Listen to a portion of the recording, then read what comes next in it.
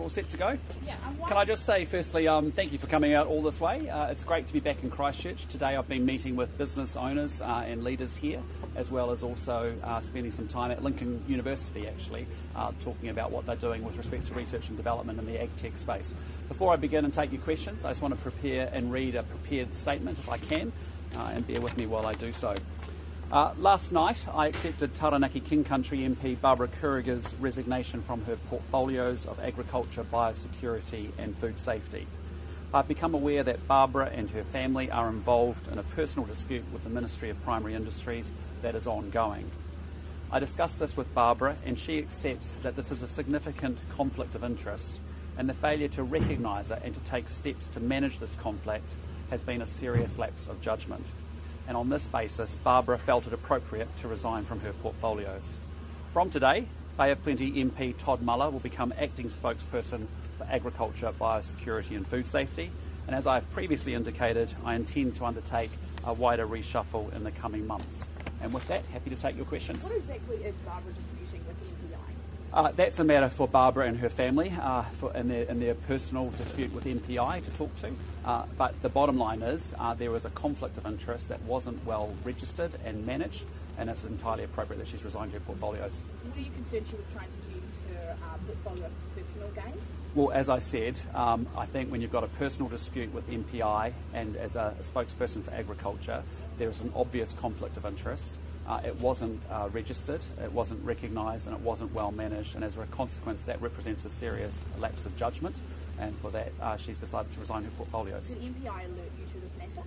Uh, my office was alerted by a third party, uh, and they looked into it. And then Barbara and I met last night and discussed it fully then. So it Barbara who offered it up?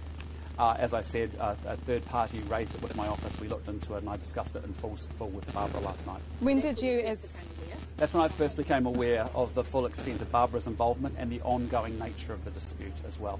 Did Barbara resign or was she pushed out? Uh, we had a very good conversation going through the full detail of it all last night, and it became apparent uh, that maintaining and holding on to those portfolios was untenable, and uh, Barbara made the decision to resign those portfolios. Exactly.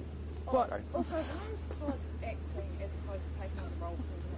Well, as I've said from when I became the leader, I said that a year later I would look at doing a reshuffle within our caucus. It's a year out from the election, I suspect, uh, and so in, in coming months there'll be a further reshuffle. And so uh, Todd is incredibly capable. He's a, a hugely respected in the agriculture sector.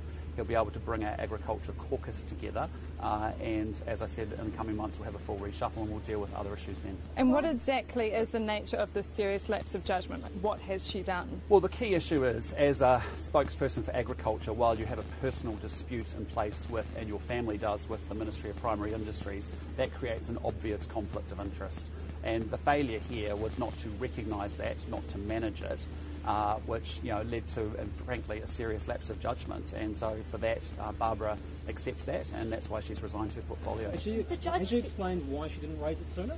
Um, look, the, you know, bottom line, she didn't recognise it, um, and she didn't put steps in place to manage it, and as a result, that's a lapse of judgment in my mind, and as a result, uh, that's why she's made uh, the, state, the, the resignation of her portfolios. What's the expectation as leader? How much sooner should she have, should she have raised it? Well, uh, if I'd known, uh, you know, that, earlier that would have been a different story. But the reality is, I became fully aware in the conversation with her last night about the extent of, of her involvement uh, and also the ongoing nature of that dispute.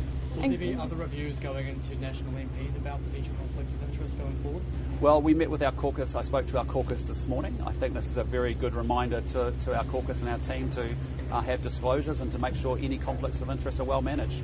Uh, I've said from the beginning, uh, I want to be able to run with a team that has the highest possible standards, and that's really important to me. And so, where there are obvious conflicts of interest, where there are disclosures that need to be made, I expect each of my 33 MPs to do so. And just talk very quickly about the idea of the local elections. How did you feel the Labor performed in Labor election, in local elections here, and uh, what do you think that means for national going forward? Well, look, as I said at the time, you know, the fundamental thing here is that people are tired of this government. They're tired of not, things not getting done. Uh, what it signalled was very much that people want a change of direction, and whether they want a local government or central government that can actually get things done and get outcomes for the New Zealand people, so they get better um, opportunities. Barbara said, Oh, sorry. Now, look, on that note, um, have you seen the latest Curia research poll, um, which shows National at 39% and Labor at 34? I mean, is that the result of National's work or Labor's troubles? Look, I mean, it's encouraging. You know, we've come a long way if you think about where we were as a party just less than 12 months ago. And so, what it says to me, though, and the most interesting thing, whether it's that poll or other polls, is that New Zealanders feel the country's heading in an utterly, totally the wrong direction.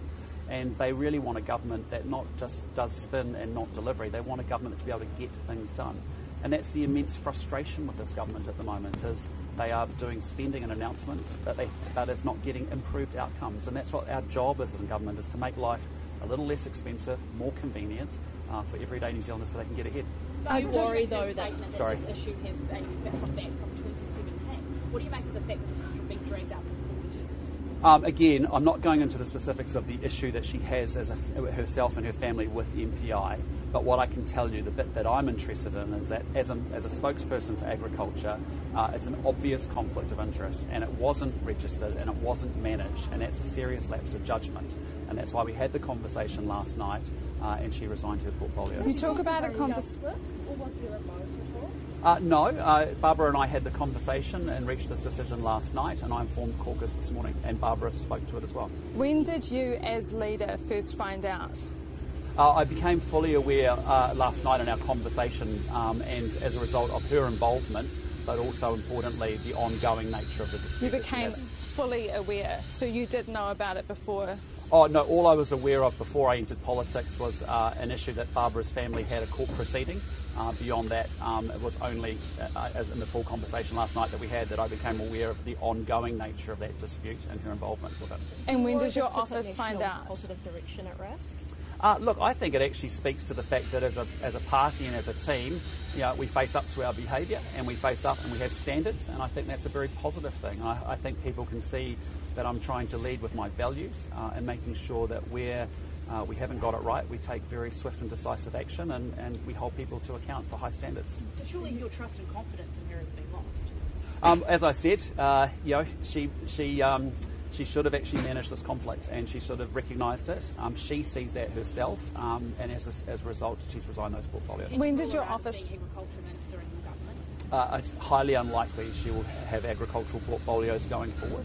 When but did I your- think Barbara has a lot to offer our team uh, and our caucus, uh, and we'll leave the door open for her. When did your office find out? Uh, my office, an independent, a, a third party person came forward and raised the issue with my office about a week or so ago. My office looked into it, and then, as I said, Barbara and I got together in Wellington last night and had a discussion. And given this conflict, how can she stay on as MP? Sorry? Given this conflict, how can she stay on as MP? Well, really, it's about a conflict of her portfolios with, with the issue that she has at, as a personal and a family level. And really, that's the, that's the issue. And it's quite right that she's stepping down uh, and for a period of time without portfolios. Uh, but, you know, Barbara has a lot to contribute um, to this country and, and to our team. Uh, and, and, you know, and, and we'll leave the door open, as I said to her before. What happens to her now? Um, well, she represents and focuses on representing Taranaki King Country, which is a very large electorate, uh, one that has, um, you know, is, is a very important one, and um, and she'll be the very best local MP for Taranaki King Country she can be. Is it possible that National is throwing her under the bus for what is a really complicated issue regarding her family? Not at all. Uh, what this is, as I said, is you can't get away from the fact that as a spokesperson for agriculture, uh, which is your job, uh, while you have a personal dispute with the same industry that's responsible for the portfolios that you are responsible for, uh, that is an obvious conflict of interest. And the issue here is a failure to recognise that as a conflict, and then importantly to put steps and mitigations in place to manage that conflict. And that's why it's a serious lapse of judgment, and that's why after discussion she resigned her portfolios. How serious is this? Sorry? How serious is this? Well, look, I think we've moved incredibly quickly, and Barbara also recognises and accepts that this is the right course of action. It was her decision to resign those portfolios. Uh, but again, I think it speaks very strongly to a party that I said when I became the new leader that I was putting standards in place, and I have high standards of my team, uh, and that's what we're demonstrating here. Said before you came into politics you knew that there were court proceedings. Why is it not something that you were asked about in terms of what they related to? Uh, I was aware of what they were related to, but actually, uh, Barbara wasn't uh, part of those those proceedings uh, herself, uh, and, um, and, and and and therefore that wasn't relevant. Right. Just in, in, in terms of um, the Ruapehu Alpine lifts, um, should the government, uh, $50 million in debt, uh, and the government has contributed $15 million uh, to, that, to, that over the past four years, should the government be ba- bailing them out? Uh, look, ultimately, each business has to stand on its own feet and its own merits. And, um, you know, I know it's a really challenging situation. Um, it's a really difficult one. Uh, but ultimately, you know, that's a decision for the company itself to make. Just on that conflict of interest, you've said it is serious. So did you force her resignation? Uh, as I said, Barbara and I met together in Wellington last night. Uh, we went through the whole uh, situation. Uh, it was uh, at that point, as I said, I became aware of the ongoing nature of the dispute that she had and her family has, but also her involvement with it. And so, uh, as we talked, it was quite obvious that there is an obvious conflict of interest. As I said, it hasn't been recognised, it hasn't been well managed, it's a serious lapse of judgment, and that's why it's entirely appropriate that, that she resigns those portfolios. But knowing that her family was involved earlier on, um, is that not enough when she is in that What, portfolio? what I wasn't aware of was the ongoing nature of the dispute since that